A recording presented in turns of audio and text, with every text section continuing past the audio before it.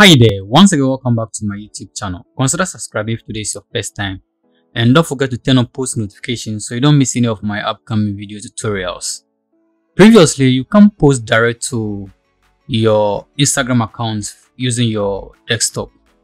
But I realized that Instagram have made some update and you cannot post direct to your Instagram account using your desktop PC. So let's jump right into action and see how you can do that. I've logged into my account and I just want to post some few information onto my account. When you go to your profile, you can see at the top menu, we have some plus icon. So in order to post, just click on the plus icon. And it's going to open a new dialog box for you to post. So you can create a new post and mostly Instagram allows you to post pictures and you can add captions to that. So you can easily create, select the picture from your PC or just drag any picture at all you want to use and then drop it right here. So I'm just going to pick a picture from my PC and then drop it, the picture and then drop it here. So you're going to load your picture and then what you have to do is to click on next. So just click on next after dropping your picture. Okay, so when you add your picture and click on next, you now have the option to use the filters that you have on your mobile device. Remember, if you use the Android device, you have option to filter your images. So when you click on them, we have different kinds of filters that you can apply to the image before you even go ahead to upload it. We even have the adjustment option.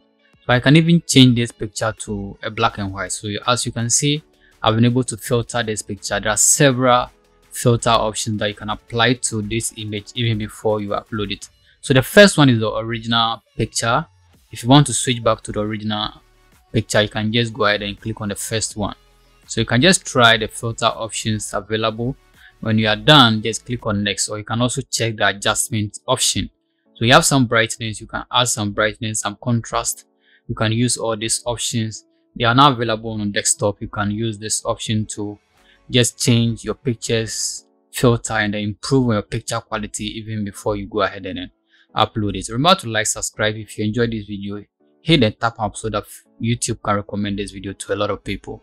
So if you are okay with the filter option, all you have to do is to click on next.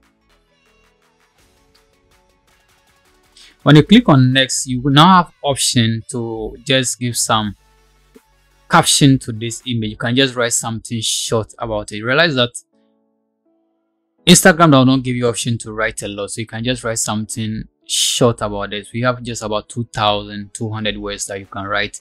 You can add some emojis and other things to it. So let me just write something short.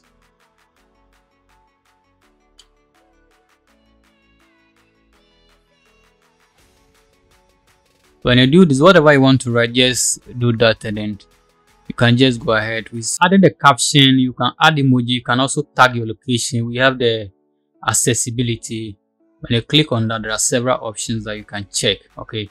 You can add some text. When your image is not sure you can just provide some alternative text to that. And you also have advanced settings. You can also click on advanced settings and then you can hide likes and count on this post. You can do that. You can also turn off commenting. If you don't want people to comment on this you can do all this from here. If you are done with whatever you want to do just click on share. And this particular post will be shared on IG, that's Instagram. So basically, this is how you can post direct on what Instagram. Okay, you can see your post has been what shared. So once it is shared, when you go to Instagram, you should be able to view that post, and your followers and your friends will also be able to see this post. Let me just close this. You are done posting this and you share this successfully. This should be part of your post on Instagram. So you can view likes and share if only you enable that. You can see all your posts and it should be part of your recent posts on Instagram. So basically this is how you can post on Instagram using the new features that have been added by Instagram. So just click on the plus icon and then follow the steps in order to what upload whatever you want on Instagram. Remember to like, subscribe and don't forget to turn on post notification. Till I come your way again. Bye bye.